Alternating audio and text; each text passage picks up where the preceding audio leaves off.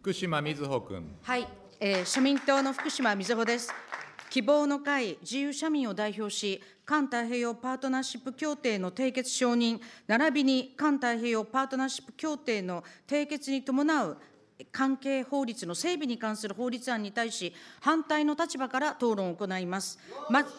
まず第一に、トランプ米国次期大統領が TPP からの離脱を明言する中、我が国において膨大なお金と時間をかけて、え国会審議をする意味がどこにあるでしょうか。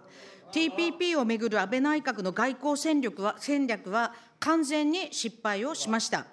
安倍政権は発行する可能性ゼロの TPP を無理やり成立させようとしています。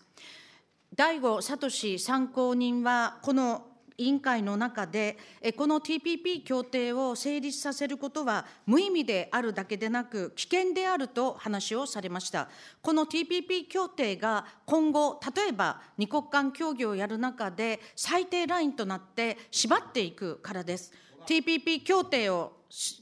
承認をすることは、成立させることは、無意味であるだけでなく、誠に危険である、その具をこの参議院は手を貸すべきではありません。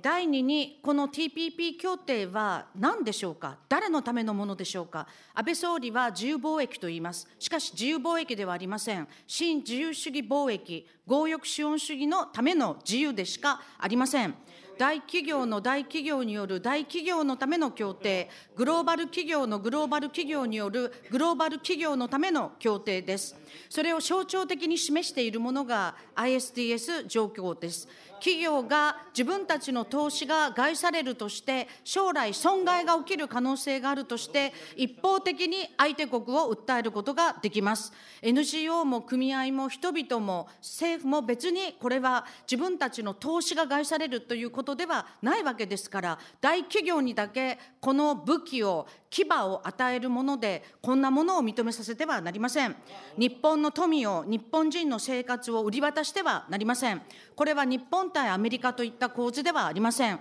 アメリカでも組合、NGO、多くの人々が反対をしています。日本でも農業従事者、そして、えー多くの働く人たち、そして NGO、たくさんの人々が反対をしています。なぜか、生活を守りたいからです。この委員会の中でも、農業がまず自給率が下がったり、打撃を受けることが、えーかなり明らかになりました。TPP に入って、みずほの国は守れません。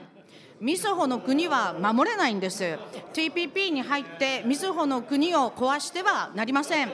えーそして、えこの委員会の中でも食べ物の安全や、えーそして公共調達、医薬品、え薬価が上がるんではないか、国民皆保険制度や、えーそして、えそれ、まあ、今日水のことを挙げましたけれど、たくさんのことが、日本が戦後、曲がりなりにも傷つ傷き上げたことが、壊滅的な打撃、壊されるんではないか、しかもそれがグローバル企業によってということが、かなり明らかにされ、また参考人からも薬価が上がるんではないかということが端的にあるように、問題がされました。国民の生活を奪ってはなりません。そして第三に民主主義を破壊するものです。TPP が法律やえーそして条例を超えて訴えることができる、議論することができる、これは日本の民主主義にとってまさに危機だと考えます。えー保守の矜持っていうものがあるでしょう。日本人の生活を政治家たちは、議員は守っていこうではありませんか。えーこの TPP 協定に関して断固反対、社民党は今後も全力を挙げて TPP に反対していく、希望の会は反対していくことを申し上げ、反対討論を終わります。他にご意見もないようですから、討論は終局したものと認めます。これより採決に入ります。まず、環太平洋パートナーシップ協定の締結について、承認を求めるの件について採決を行います。本決を本件を承認することに賛成の方の起立を願います。